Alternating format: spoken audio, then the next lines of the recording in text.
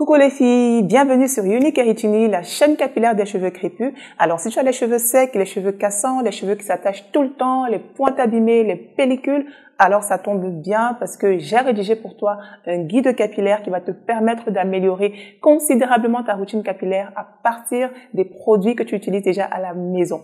Le guide va te montrer comment tu vas pouvoir désormais réaliser un shampoing sans qu'il ne t'assèche les cheveux quels sont les actifs capillaires hydratants et protéinés que tu vas devoir rajouter dans tes masques et dans ta crème hydratante pour renforcer l'hydratation de tes cheveux et fortifier tes cheveux Quelles sont les meilleures huiles végétales pour tes cheveux? Parce que oui, toutes les huiles végétales ne se valent pas. Il y a des huiles qui pénètrent plus facilement et plus rapidement la fibre capillaire que d'autres. Et tout plein d'astuces pratiques pour tes cheveux que tu vas pouvoir mettre en place dès aujourd'hui. Pour recevoir le guide, c'est très simple. Il te suffit de cliquer sur le lien qui s'affiche dans la barre de description et tu recevras le guide dans ta boîte mail dans les minutes qui suivent. Alors les filles, petite vidéo aujourd'hui pour vous montrer ma coiffure protectrice du moment. Donc ce sont des braids sur lesquels j'ai rajouté euh, aux extrémités des En fait, je me coiffe pratiquement jamais. J'ai toujours les cheveux défaits parce que je fais beaucoup de sport et du coup, je transpire beaucoup. Donc, j'ai toujours en fait besoin d'avoir les cheveux défaits aussi pour pouvoir réaliser mes soins euh, assez régulièrement. Mais cette fois-ci, j'ai décidé de baisser la garde et de réaliser cette coiffure que je trouve vraiment très originale, très atypique et très jolie. Alors, cette vidéo, c'est pour vous donner quelques petites astuces pour réaliser cette coiffure. Donc, je vais pas vous apprendre à faire des braids, voilà. Euh, je suppose que vous savez les faire ou alors, si vous ne savez pas les faire, demandez à quelqu'un de vous les faire.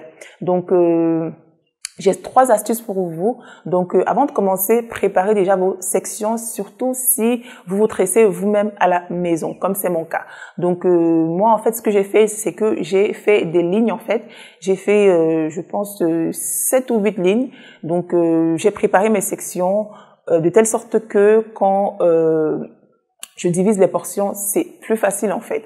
Alors, deuxième astuce, c'est pour les tresses de devant. Euh, tenir la base avec du fil à tresser. Donc, euh, je vous montre pas spécialement comment je l'ai fait ici, mais en fait, j'ai utilisé du fil à tresser pour toutes les tresses de devant uniquement. Parce que là, ça me permettra de bien sécuriser en fait ces tresses-là pour que vos tresses durent un peu plus longtemps, surtout si vous faites du sport comme moi. Et la troisième chose que j'aimerais partager avec vous, c'est comment mettre les perles. Alors, c'est très simple il vous faut des perles, donc vous choisissez les perles que vous voulez.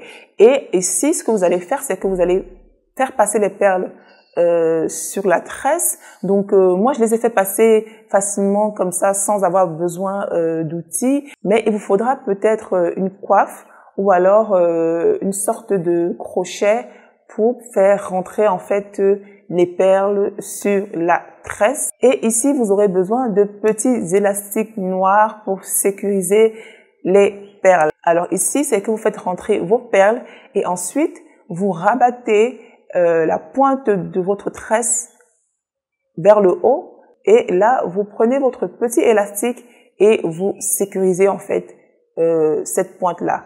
Donc, vous pouvez rouler l'élastique 2, 3, 4, 5, 6 fois, voilà, ça dépend. Moi, je l'ai fait en moyenne 3 fois euh, sur chaque tresse, question de bien sécuriser en fait les tresses. Donc voilà les filles, c'est tout pour la vidéo d'aujourd'hui. Portez-vous bien et on se dit à la prochaine dans une autre vidéo. Bye bye